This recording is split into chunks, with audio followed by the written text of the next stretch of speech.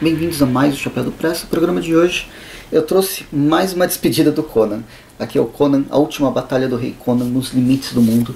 Foi publicado nas edições número 12 e 13 aqui da Panini, que é de maio e outubro. Demorou bastante para trazer ela inteira e para comprar finalmente. Temos as edições Rei Conan 4 a 6, é, de 1, 1 a 3 e 4 a 6.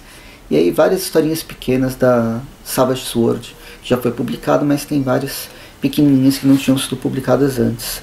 Isso aqui foi publicado, as, as histórias né, do, do Rei Conan foram publicadas entre fevereiro de 2022 até setembro de 2022, depois a Panini logo em seguida publicou. Meio lance, e quem é o autor também é o Jason Aaron, com as, as art, a arte do Mahmoud Asram. A arte é sensacional e o roteiro também é legal. O Jason Aaron, ele, eu tenho uma relação de amor e ódio com esse autor, porque eu acompanhei Thor dele, gosto muito. Quem acompanha o canal sabe como eu gosto do Thor. Toda a sequência, desde 2012 até a, entrega do personagem lá com a, a Guerra dos Reinos e tal. Mas depois ele foi para Vingadores e Vingadores é horrível e tudo que ele vem fazendo, tirando o Conan, tirando Conan, tirando o Thor, é bem sofrível.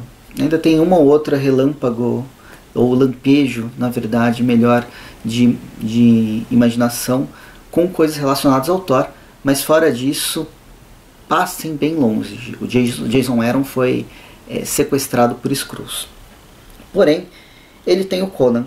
Os, a primeira série do Conan, que foi publicada nos números anteriores, que vai mostrar tecnicamente ou teoricamente a morte dele, esse é o, é o grande título, já mostra que o Jason Aaron quer fazer um grande épico, quer trabalhar com esse personagem da era iboriana, que é um grande clássico, no fim, um clássico moderno, né, que foi criado lá nos anos 30 pelo, pelo Robert Howard e foi ganhando proporções cada vez maiores num grande épico. Um personagem que nunca foi necessariamente épico. Na verdade, a grandeza dele está nas pequenas interações num mundo completamente destruído, onde sociedades, nenhuma sociedade presta nesse mundo da era iboriana. Então, é muito longe do, do que a gente pode chamar de épico. Porém, Jason Aaron tenta fazer isso porque o personagem cresceu demais no imaginário popular.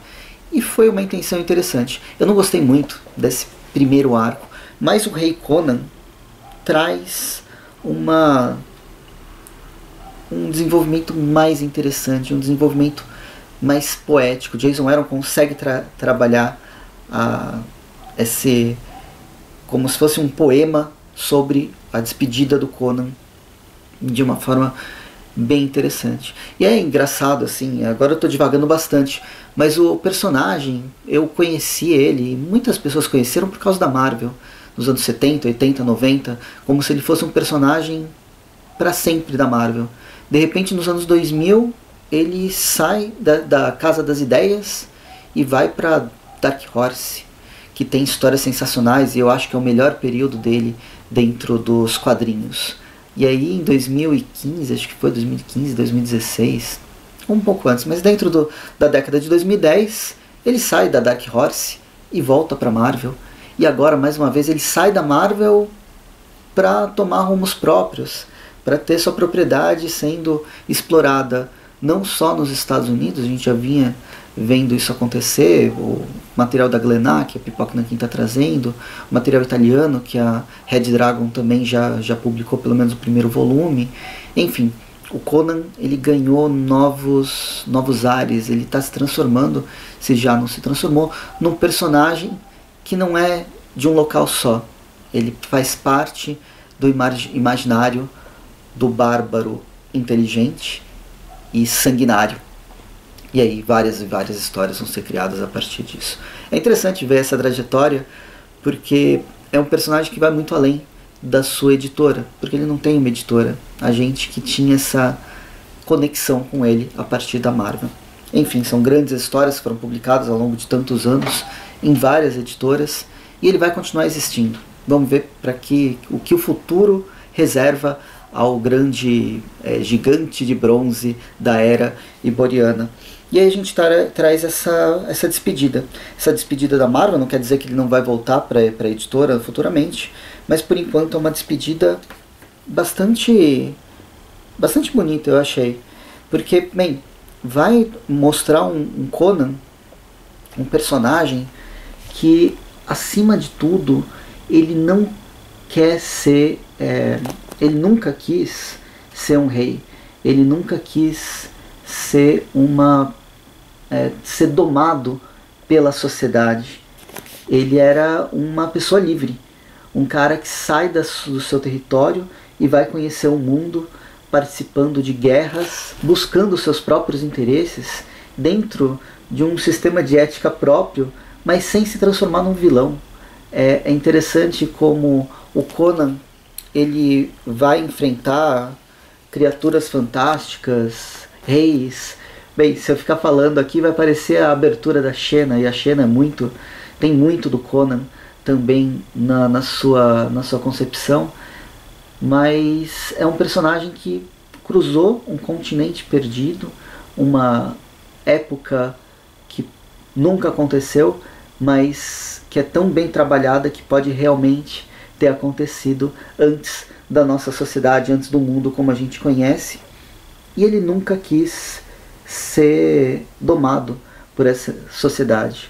Quando ele finalmente assume uma responsabilidade enorme, que é ter um reino, que é principalmente ter um filho com ou o Conan II, ele fica meio perdido, ele fica cansado, ele quer sair, ele não foi forjado para o um mundo civilizado. E é justamente essas, ao longo de seis, é, de seis capítulos, né, são seis edições, a gente vai acompanhar o Conan perdido numa ilha, ele se encontra com Tote Amon, que seria o grande inimigo dele, o grande inimigo que a gente vê em alguns, é, mais por causa dos quadrinhos que ele se transforma do que por causa dos livros mesmo, que é um mago ligado ao deus da serpente e que quer o sangue do Conan para se transformar no grande, num grande manipulador de energia mágica. É um servo de Sete querendo ser mais forte que o próprio Sete. E a gente vai acompanhar esse, esse encontro. Os dois precisam se aliar para sobreviver num, numa ilha perdida a milhas e milhas a oeste. Ninguém sabe que essa ilha existe, mas várias pessoas acabaram, vários aventureiros acabaram caindo lá, morrendo e se transformando num exército de zumbis. E é, é uma história que vai misturar essa fantasia do Conan, vai misturar essa busca pela aventura, pelo desconhecido, alianças que ele nunca gostaria de fazer, e ao mesmo tempo ele é confrontado pela memória, pela memória do filho que ele quis expulsar da terra dele, falando: "Cara, você foi, você nasceu em berço de ouro e não tem nada a ver comigo. Eu sei que você sabe lutar, eu ensinei você desde que você pôde pegar uma espada, mas você não sabe o que é a vida real. Então você está expulso do reino. E a gente tem um primeiro confronto dele com, dele com o filho, que é bem, é bem interessante. A gente tem várias dessas splash pages, dessas páginas que são quase cartões postais sobre momentos icônicos do, do Conan ao longo da sua vida e finalmente a luta que o Conan vai ter com o próprio filho. Pelo menos essas três primeiras edições é bem isso, é o passado do Conan, o Conan com o filho, que a gente não conhece, né, essa, interação, e ele tentando sobreviver nessa ilha, nessa ilha perdida. Nas edições seguintes, né, na, nas edições finais, das, da 4, 5 e 6, olha só, mais uma página bem legal dele com o filho. A gente vai acompanhar também a origem do Totiamon, como ele se transformou no sumo sacerdote do, do rei do, do deus Sete, qual a ligação dele com, o, com essa ânsia por querer mais e mais poder e o desenvolvimento da história né, nessa aventura, dessa aventura da descoberta numa terra completamente inóspita. Foi um fim digno, um fim bonito, cheio de, de poética nesses textos que o Jason Aaron escreveu E a própria arte, ela expressa muito bem isso, a arte do Mahmoud Azran. Tem o Matt Wilson também nas cores em alguns momentos, mas Mahmoud é o que faz a arte principal ao longo de toda, toda a minissérie. Enfim, esse foi Conan o Bárbaro, mais uma passagem, durou 13 números, 13 edições aqui no Brasil. Lá nos Estados Unidos foram várias minisséries e que agora se despede para um novo início, para uma nova aventura. É interessante até esse final que o Jason Aaron dá, quase como indicando o Conan, ele nunca vai morrer, ele vai estar sempre aí, seja na Marvel, seja na Dark Horse, seja onde ele estiver, ele vai estar sempre em busca de novas novos desafios, novas aventuras, novos desafios. Enfim, Conan o Bárbaro, o final apoteótico de uma grande jornada, esses subtítulos da Panini muito noventistas e que nesse caso faz, um, faz completo sentido. Enfim, é isso. Eu vou ficando por aqui, espero que vocês tenham gostado do vídeo, curtam o vídeo, assinem o canal, assinem o Chapéu do Preço Facebook, me sigam no Instagram, no arroba Preço onde eu falo sobre filmes e séries todos os dias com resenhas novas, ou quase todos os dias. Eu também tenho Fortaleza Quântica, que é, é uma conversa, é um podcast que eu e Rafael do Multiverso 38 a gente faz com vários convidados, tem várias entrevistas, tem vários temas que são discutidos em episódios atemporais, porque tem várias recomendações, então dá para escutar qualquer um deles a qualquer momento. Então procure Spotify, Anchorage ou qualquer outro agregador de áudio. E o link da Amazon, qualquer compra no link da Amazon ajuda muito o canal. Conan, vocês encontram pela Amazon também. E se eu não me engano, tá com 15% de desconto nesses. Bem, no momento que eu tô fazendo, gravando o vídeo, mas se vocês é, esperarem, vez ou outra, deve aparecer com preço promocional. É isso. Vou ficando por aqui. Espero que tenham gostado do vídeo. Até mais e bons quadrinhos.